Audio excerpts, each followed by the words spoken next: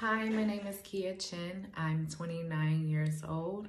I was born in Gary, Indiana. I currently reside in Warner Robins, Georgia. I am married. I'm a military spouse. Um, we have four children, two boys, two girls. I'm seven, three, two, and nine months old. I um, attending, I was attending Penrose Academy in Scottsdale, Arizona. Started in January of this year and I was attending the aesthetics program to become an esthetician. And if I was to win this scholarship, it would open so many doors and so many opportunities for not only myself, but also for my family.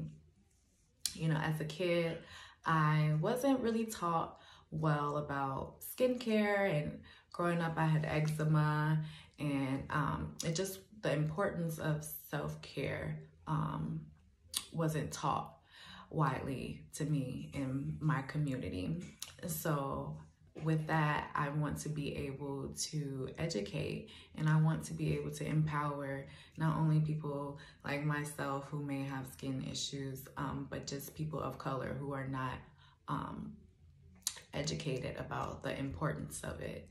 Um, someone that I follow on social media, um, Jada Simpson, she's a cosmetologist and she's a social social media influencer um, we went to the same high school together and she moved to Houston and she started her own hair care business and um, she teaches classes um, for hair care. And I just think that is such um, a positive impact on her community and just seeing all the obstacles that she's faced um, and how she has flourished so much with her business and the positive impact that she has is just such an inspiration to me. Um, not only because we from the same hometown, but her journey is not the same, but similar to mine. Um, going to beauty school, I faced a lot of adversity and challenges um, trying to finish the program. Um, I was separated from my kids for five months. Um, I had family issues going on um, while also trying to pursue another degree.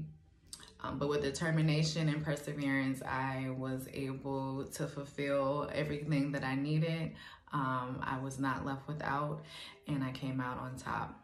And I just want to be an inspiration for others, um, moms and people like myself that have goals um, that nothing is impossible. Anything is possible with the right mindset and the right people in your corner.